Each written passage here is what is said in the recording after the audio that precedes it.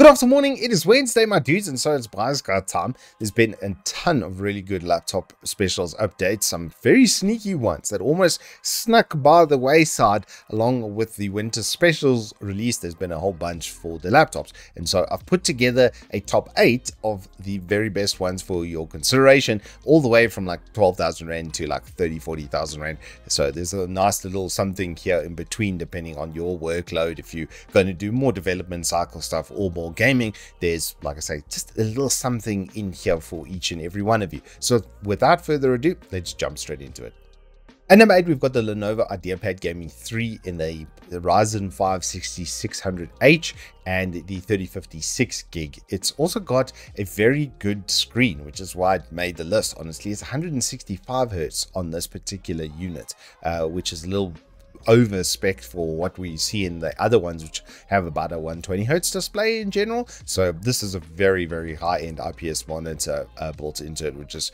kind of cool. Uh, 1080p as well, a camera, so it's got a better spec cam. So this is this a little bit more corporate businessy kind of vibe uh, with that, but still like high-end gaming mix in between. The 3054 gig is limited by its video memory. The 4056 gig is generally better with gaming at 1080p just because of that. Um, I can generally set higher texture settings, but the price versus performance here is pretty solid, especially when it comes with 16 gig RAM and a 512 gig SSD. So I thought we got to throw that in as well. And I believe this unit should come with a three-year warranty, if I'm not mistaken. Hold on, brain.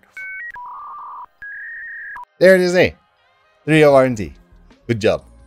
At number seven, we have a beefy, beefy boy. It's a Legion Pro 5.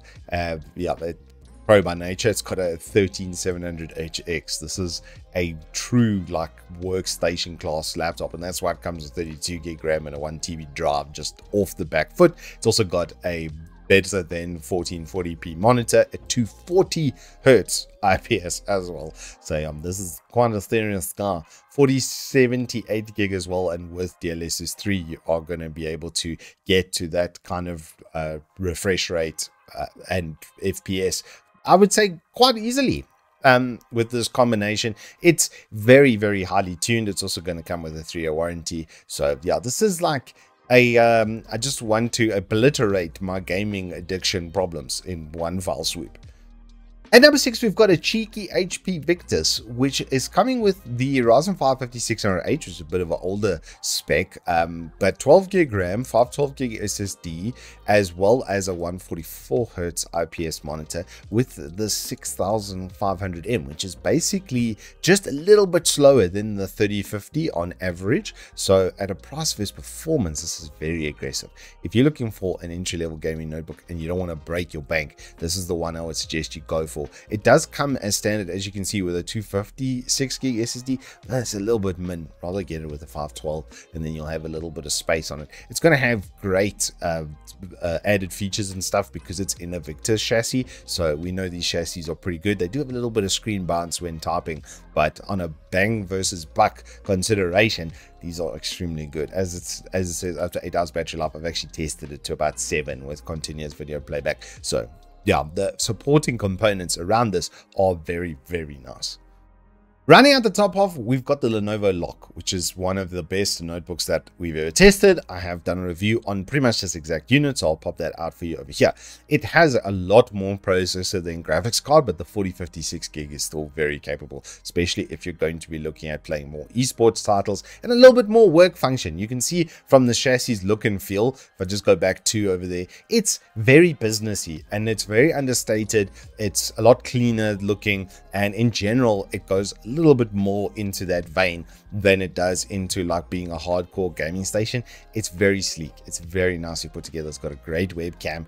Everything that you want from a like development sort of notebook and this the 13620h is a monster 10 core 16 threads uh, comes with 16 gig ram and a 512 gig ssd as, as basic we love the three-year warranty on these as well lenovo is just kind of cleaning up our here with these as of late at number four, we've got one of the sneaky boys coming in from MSI. It's a 13900H with 16 gig RAM, 1 TB uh, NVMe with a 17 inch notebook form factor, uh, 1440p on the monitor to 40 hertz of that with the 4070 once again. So this is just, it's much bigger, obviously, than a 15 going to 17. We don't see a lot of 17s these days and kind of makes me sad um, in a lot of ways. It's got the nice backlit keyboard and these Pulse chassis are pretty solid. The cooling and stuff on these is pretty good. So yeah, all around, it is a really nice 17 inch notebook and therefore it deserved a,